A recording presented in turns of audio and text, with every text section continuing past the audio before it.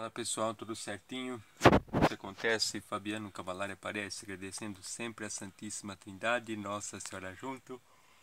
Perdão, e vocês que estão conosco no canal. Agora são 9 horas e 33 minutos da manhã desta segunda-feira, dia 14 de dezembro de 2020. Nosso material de hoje até então.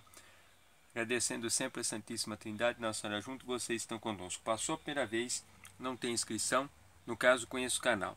Conheceu, gostou, por favor se inscreva. Clique no sininho para ter notificação de novidade dos próximos vídeos na medida do possível. E dê o joinha no assunto que você achar importante. Que a gente vê realmente que o nosso trabalho está valendo a pena. Críticas e sugestões construtivas são sempre muito bem-vindas. Obrigado aos inscritos de ontem, de hoje, de sempre. Sem vocês não estando conosco, não dá nem para imaginar, certo? Bom, luminosidade aqui, né?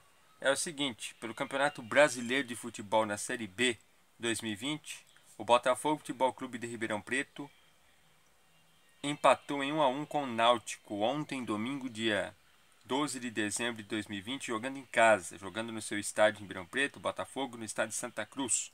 Até então, o Náutico está em 18º lugar com 28 pontos. E o Botafogo está abaixo dele na tabela de classificação atual do campeonato, em 19º lugar com 24 pontos. Empatou, precisava ter ganho, né? Porém, enfim, é...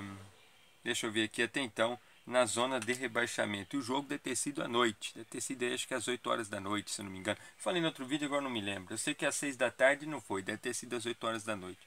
O que, é que vocês acham sobre isso? Tem mais. A notícia acontece, Fabiano Cavalar aparece. Aqui na bota. Uou!